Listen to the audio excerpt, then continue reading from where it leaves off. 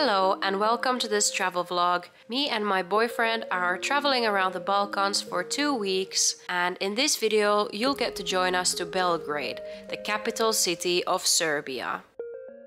Hello everyone, my name is Janica and welcome to this travel vlog. Yesterday evening, me and my boyfriend arrived to Belgrade. We took an 8 hour long bus trip from Sarajevo and the bus trip wasn't very comfortable because I've been suffering from a bit of a food poisoning since yesterday morning. I'm not feeling completely like myself yet, but at the moment at least I am feeling a little, little bit better. I had enough energy to take a shower and I managed to eat a banana.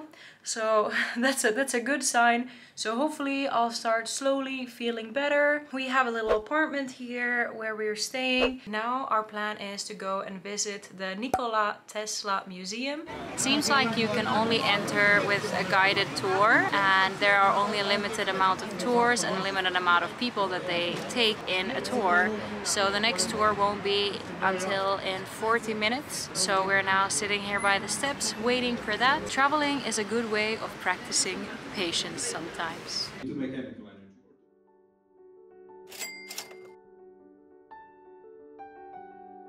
In the museum we got to learn about Nikola Tesla's life and his inventions. The museum is not very big, but thanks to the guided tour I think it is worth visiting. Hold it at the bottom and you want to hold it high.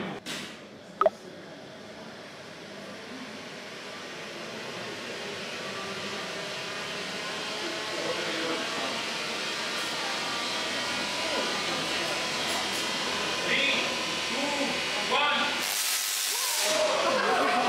Three, two, one. Look at the left. Three, two, one.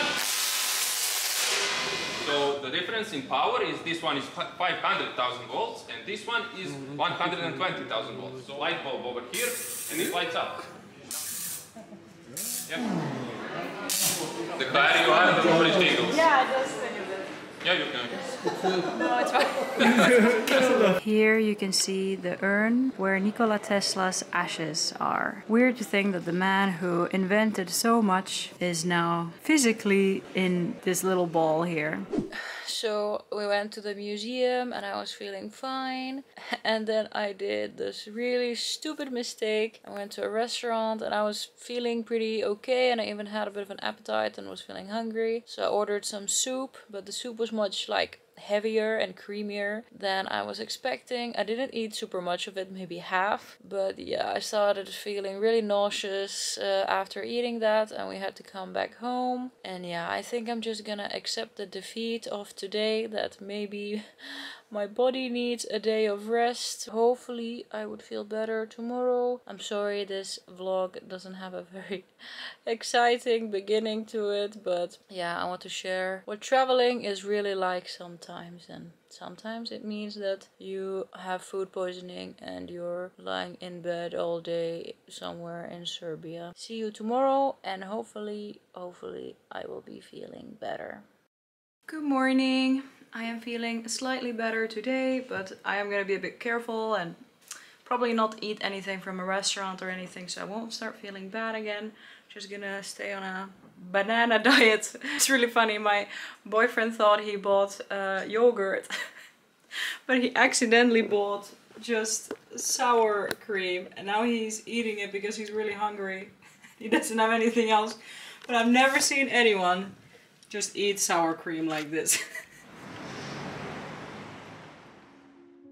This day we kinda just spent aimlessly wandering around as I still felt like I needed to take it a bit easy. First, we saw this really cool looking Orthodox Christian church. We then stumbled upon this famous street called Skardarlia. I'm sorry, I'm probably pronouncing it wrong, but this street is apparently hustling and bustling during the evening times. However, now it was pretty quiet there. It's a bit of a gray day and stuff, so there's not very much people around. It feels a bit like a ghost town.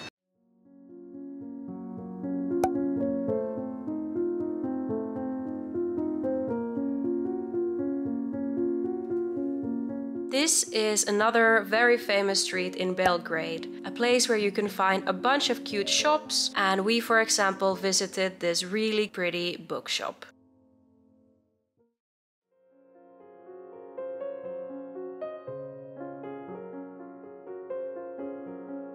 Currently, we are here by the Belgrade Fortress. The Belgrade Fortress consists of two different parts, the old citadel and the Kalemegdan Park. From the fortress there is some beautiful viewpoints where you can see over two rivers coming together, the Sava and Danube River. The area is completely free to visit and a nice place where to roam around.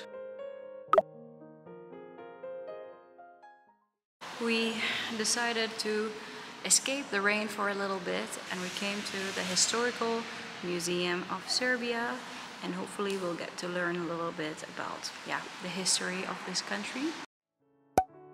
In the History Museum we got to learn about, well, you guessed it, the history of Serbia the museum was okay, but maybe not the best we've been to. Unfortunately, also a part of it was under renovation, so it was quite small.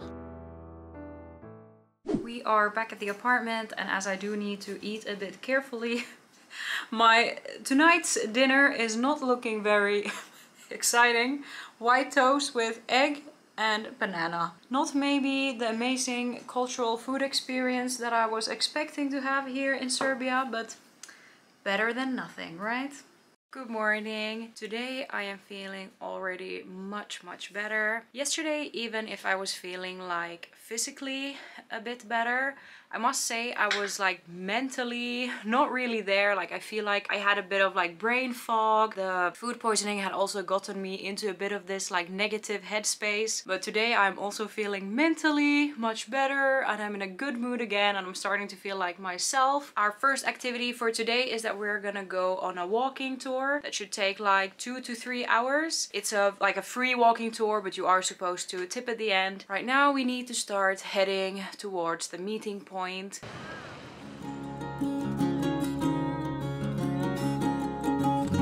During the walking tour, we walked around a lot of the same places as the day before, but this time it was much more enjoyable as we got to learn about these places and also the weather was much better and less grey. We also got to discover some new spots that we hadn't seen before. The tour and our guide was really good. We went with a company called Free Belgrade Walking Tours and I would highly recommend them.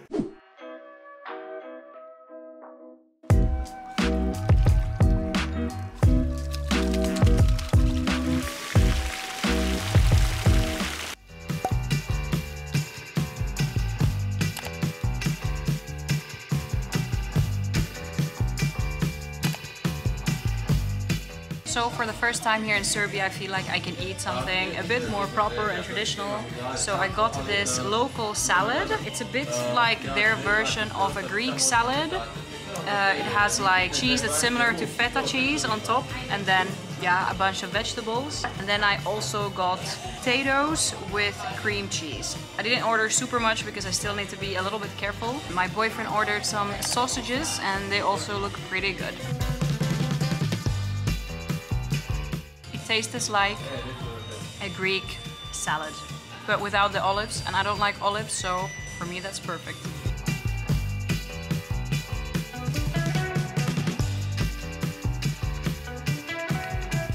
We just had some traditional Serbian lunch, which was really good, and now next we are going on the communist tour. And yeah, I'm really excited. I must say today my picture of Belgrade has been much better because the sky is more clear, my head is more clear. We've definitely been enjoying this day more than we did yesterday, which is, which is great.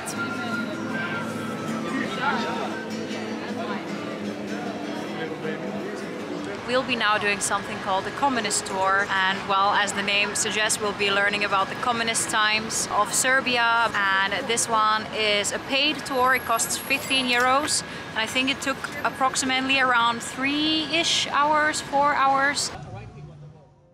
The Communist Tour was done by the same company as the free walking tour that we took earlier. It was really interesting and we got to learn so much.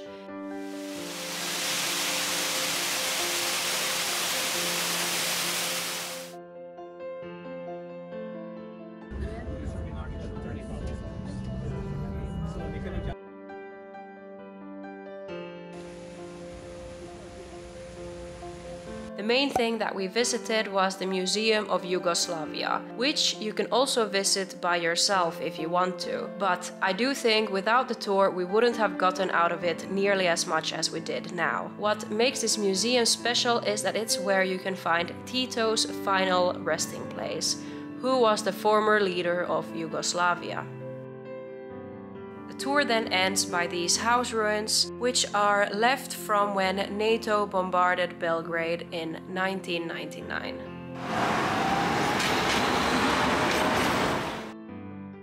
We have just finished the communism tour and it was very interesting but after two tours now today we feel like we have been quite bombarded with information. We still have one more thing that we really want to see today and that is the Saint Church of Sava and where the tour ended is supposedly quite close by the church so we might as well walk there now and check it out as it's supposed to be like one of the main attractions the most beautiful attractions to see here. Apparently I said it wrong, it is the Church of Saint Sava, not, I don't know what I said, Saint Sava of the church, I don't know. But like said, we're starting to be pretty tired.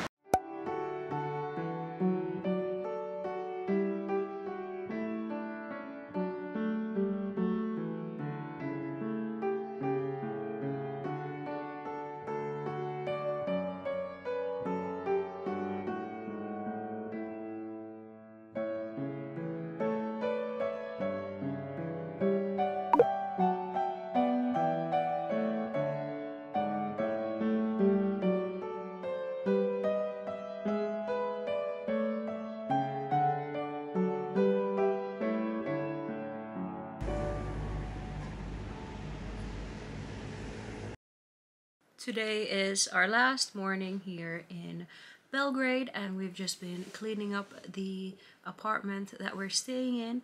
And I thought I'll give you guys a little tour of it because I didn't do that earlier. Honestly, I feel like I have no idea what this vlog is like. Because usually I have like a bit of a picture in my head of what I'm gonna film and what the vlog is gonna be like and what it's gonna contain and so on but because I was sick for quite a bit and stuff I've just filmed very randomly and we haven't done all the things we were planning to do. And yeah it's been all over the place a little bit but I hope you have still enjoyed it nevertheless. But yeah let me give you guys a tour of the apartment. So here you can see our little bedroom. For some reason there's a lot of little prince related things. And then there are also these kind of creepy what are these called? Like posters on the wall I'm not sure what they are, but it's definitely an interesting choice of a decoration. And then over here is like our kitchen area. There's not really like a living room area or anything, but there's a stove and there was actually even a washing machine. And we have a little table over here. Over here there's a little balcony. We haven't honestly really spent time on the balcony. And then here is like where you come in. So there's a separate shower, whoa, a separate room for shower and then the toilet. So yeah, it's nothing special, but it's been comfortable staying here for the past few days. Soon we are gonna start heading towards the bus station and then we are headed to our last stop of this trip. Although we'll also do like a day trip from there but it's like the last place where we'll stay overnight. And that is Zagreb. So we are going back to Croatia. It's supposed to be like a five hour bus drive and we're going with Flixbus actually. Hello from the future editing Janica. I just wanted to pop in quickly and tell you guys a little story time from when we were at the Belgrade bus station because because it was a stressful experience. Getting to the bus platform was more tricky than what we had expected. What we didn't know beforehand is that you actually had to pay in order to be allowed to enter the bus platform. Like we had already booked the bus in advance and paid for that, but we didn't realize you needed to pay an extra separate fee for entering the platform from where the bus leaves. So yeah, we are there standing in a queue trying to buy a ticket for this and we are told that you can't pay with card. They don't accept foreign cards, that you have to pay with cash. But because we were leaving Serbia, we've already by then gotten rid of all the cash that we have. So they tell us that there is an ATM that we can use. So we run to the ATM and the ATM is out of service. So we're like, what are we supposed to do? We can't pay for the entrance, we can see our bus, but we are not allowed to enter to the platforms where the bus leaves from. And I'm sorry, but I think this is a very very stupid system. Like why not just i don't know include the price in the price of the bus or something? And i was looking on google maps and the closest atm was nowhere nearby even. And our bus was leaving in like 10 15 minutes and we were like what are we gonna do? So I then do realize I do have cash, but in euros. And by this bus station, I remember seeing a money exchange point. So then luckily we are able to exchange the 10 euros cash. We were almost about to miss our bus. And then once we were in the bus and about to leave, this was really sad and quite shocking. The last thing that we see right by the bus, like five meters from the bus, is a dead body. It was like covered and there was police around it and stuff, but yeah. I think I'm gonna end this vlog here. If you enjoyed this video, please give it a thumbs up. If you want to see more videos from me in the future, remember to hit that subscribe button. And yeah, thank you so much for watching and I'll see you guys again on my next adventure. Bye bye!